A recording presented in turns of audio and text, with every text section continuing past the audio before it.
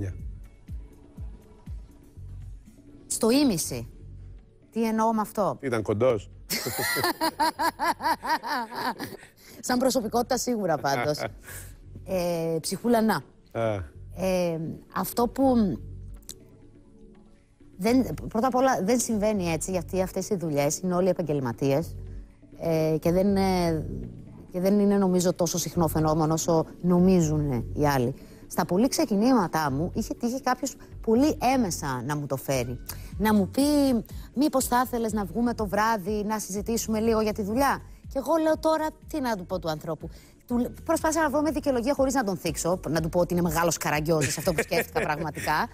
Και του είπα. ε, Έχω ραντεβού με τον Χατζιαβάτη. Το έφερες απ' έξω απ' έξω. Είπα, θα ήθελα πάρα πολύ, αλλά τρέχω τόσο πολύ με δουλειά που και το αγόρι μου δεν με βλέπει και δεν γίνεται να, να μην αφιερώσω χρόνο σε εκείνον. Αλλά αν θέλετε το πρωί να το συζητήσουμε βεβαίως στο γραφείο.